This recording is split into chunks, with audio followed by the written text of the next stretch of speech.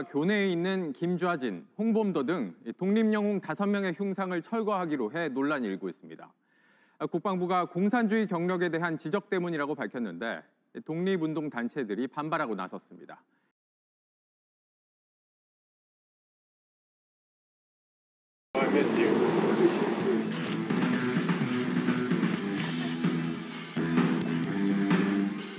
오늘 우리 새 정상은 처음으로 한미일 단독 정상회담을 갖고 한미일 협력의 새로운 장을 열었습니다.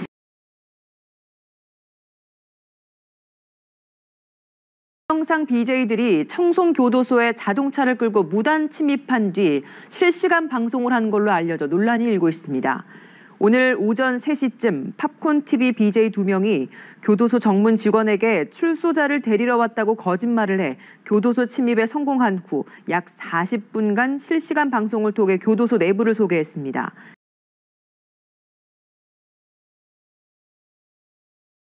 습니다 여경들이 건물 미화를 담당하는 여성 주무관들과 함께 화장실, 샤워실을 이용하지 못하겠다며 비밀번호를 바꾼 뒤에 알려주지 않았다고 주장하는 내용이었는데요. 즉, 여경이 부당한 갑질을 했다는 취지입니다.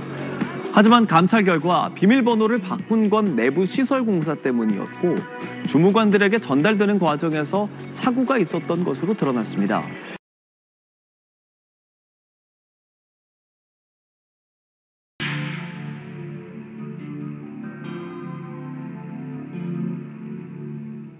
사건 발생 후 사망한 25명의 일본 군인에 대해서는 배상이 이루어졌다. 마이즈루 해안가로 떠내려온 조선인 사체 일부를 해병대가 화장했고 일부는 유가족들에게 보내졌다. 선체 인양 당시 수습된 유골은 신원조차 파악되지 않고 있다.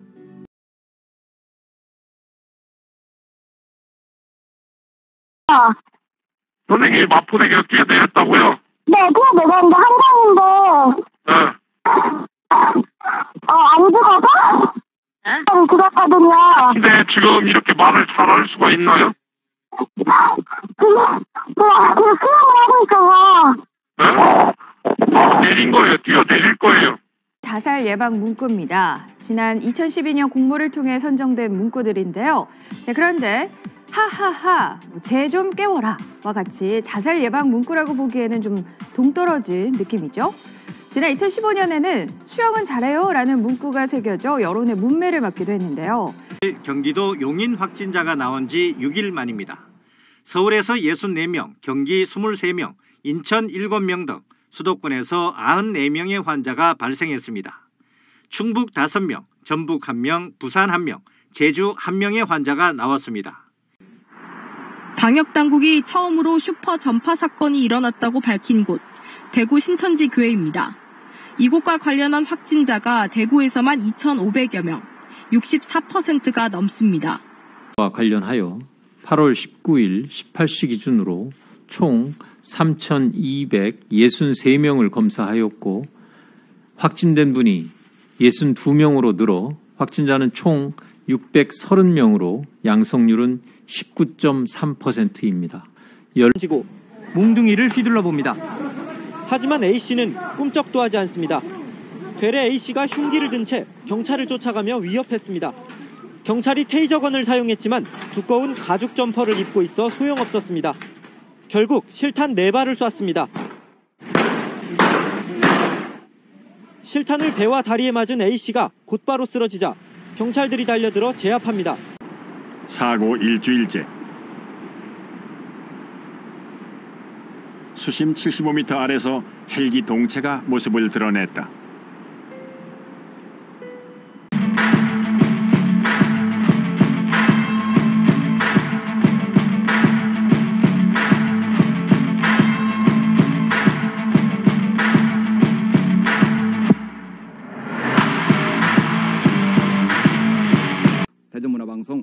김창훈 기자입니다. 오늘 새벽 2시 10분쯤 충남 논산읍 부창동 서울 신경정신과 의원 45평 규모 입원실에서 곤히 잠자고 있던 환자 김근철 씨 등 34명이 갑자기 몰려든 열기와 유독가스에 제대로 비명조차 지르지 못한 채 목숨을 잃었습니다.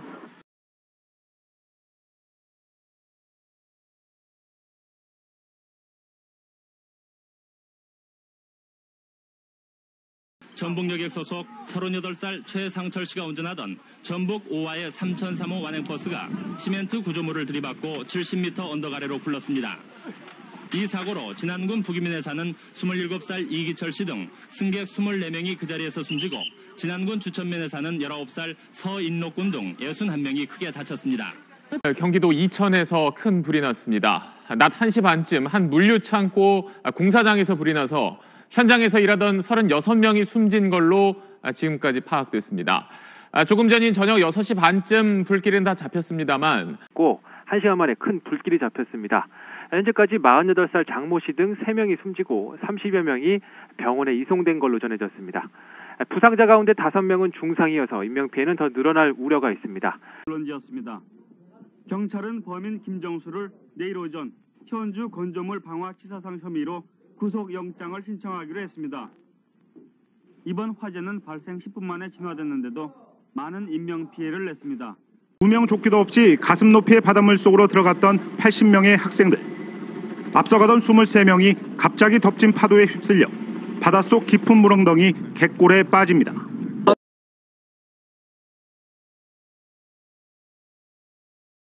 한 명을 태운 사조산업 소속 명태잡이 어선 오룡호가 어제 러시아 서베링해에서 침몰했습니다.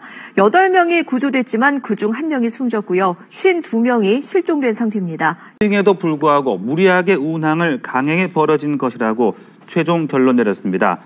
경찰은 이에 따라 선장 이모 씨와 유람선 소유주인 이랜드 크루즈 대표 조모 씨 등 5명을 불구속 입건했고 내일 중 검찰에 송치할 예정입니다.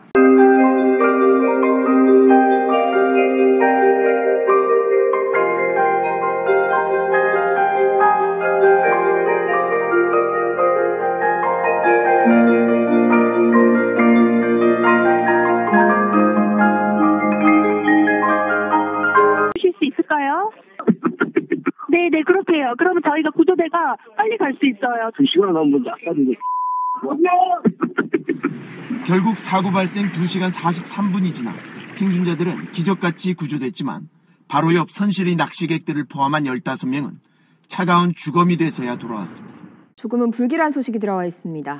네, 그렇습니다. 제주시 추자도 남쪽 15km 해상에서 40톤짜리 어선이 전복해서 지금 경찰, 해양 경찰이 수색 중이라는 소식인데요. 한가운데 어선 한 척이 뒤집혀 있고 부표 주변에서 구조 작업이 벌어집니다. 오전 11시 20분쯤 경북 포항의 구룡포 앞바다에서 선장 66살 오모 씨 등 3명이 타고 있던 4.73톤짜리 어선이 뒤집혔습니다.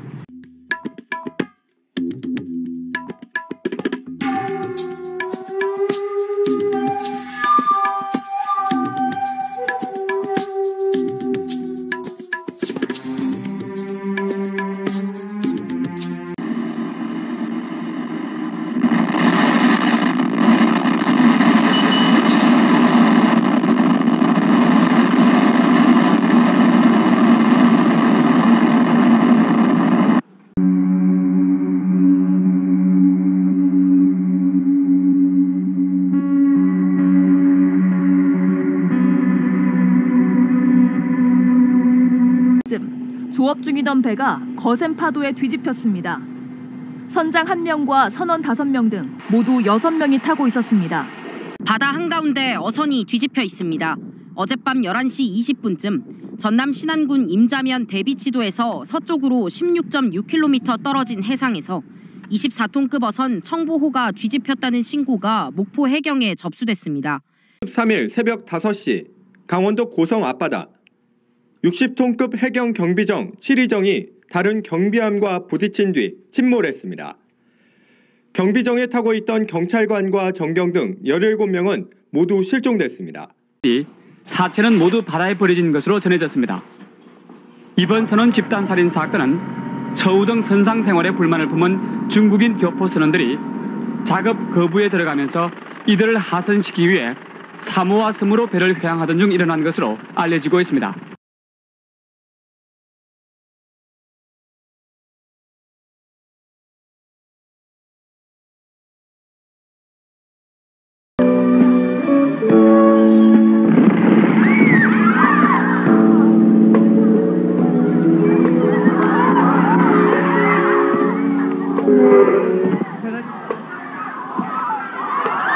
대단히 죄송합니다. 생방송 도중에 배철수 씨에게 아마 기타 감전이 된 모양입니다.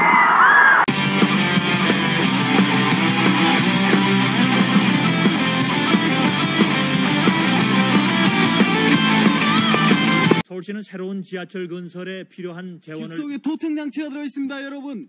귓 속에 도청 장치가 들어 있습니다. 저는 가리고 활동 135에서 소창기 여러분입니다.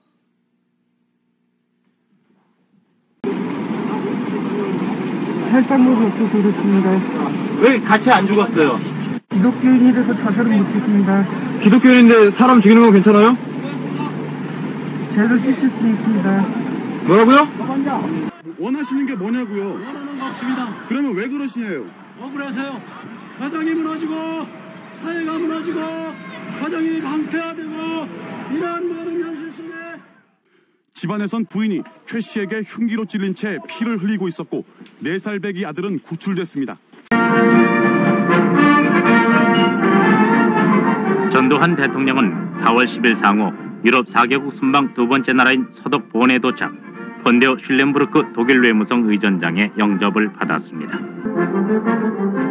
4월 11일 본신의 아데나와가 있는 수상실에 도착한 전두환 대통령은 헬무트 콜 수상의 영접을 받고 양국 정상회담을 가졌습니다. 3일간의 공식 독일 방문 일정을 마친 전두환 대통령은 중간 경유지인 스위스의 제네바에 도착해 로잔에서 여장을 풀었습니다. 4월 14일 오전 프랑스를 방문한 전두환 대통령은 보슬비가 내리는 가운데 엘리제궁에서 미테랑 대통령의 영접을 받았습니다. 한 대가 갑자기 중심을 잃고 활주로로 추락합니다. 오른쪽에서 왼쪽으로 가는 비행기가 갑자기 좀 이렇게 약간 흔들리듯 하면서 몇 바퀴 약간 조금 조금씩 돌더니 머리 부분으로 해서. 뒤 좌석에서 일어나 항공기 오른쪽 출입문을 열려는 시도를 여러 차례 반복했고 결국 승무원과 주변의 남성 승객 4명이 이 승객을 제압했습니다. 그 한려수도 그 관광차 갔다가 그 해금강 그 지역을 보고 해금강을 돌아서 나와서 돌아오는 도중에 뒷배에서 불이 나, 저 시커먼 연기가 나요. 그래서 그 선 배가 저 아마 불이 났는가 보다 해가지고 네, 그러니까 그, 예, 돌- 사고 난 배에 직접 타고 계시진 않았고, 예 바로 앞에 가고 있었죠. 네.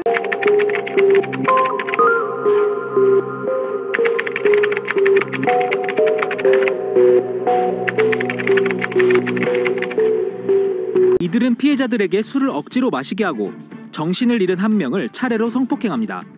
범행을 저지른 남학생들은 며칠 뒤 여중생들을 또 불러내 다시 몹쓸 짓을 합니다. 범행에는 무려 22명의 남학생들이 직간접적으로 가담한 것으로 알려졌습니다. 결국 어두운 과거를 갖게 된 최영은 아무런 거리낌 없이 포르노 촬영에 응했습니다. 저는 그 직장도 찍었어요. 최양의 애인이면서 주범격인 고등학교 2학년 김모구는 부모가 일 때문에 집을 자주 비운 틈을 타 중학교 3학년 때부터 본드와 부탄가스를 수차례 흡입한 경력을 갖고 있었습니다. 10년 전에 단역 배우 아르바이트를 하던 한 대학원생이 드라마 기획사 관계자 12명에게 성추행과 성폭행을 당했다고 주장한 뒤에 스스로 목숨을 끊는 일이 있었습니다. 언니를 기획사에 소개해준 여동생도 며칠 뒤에 극단적인 선택을 했는데요.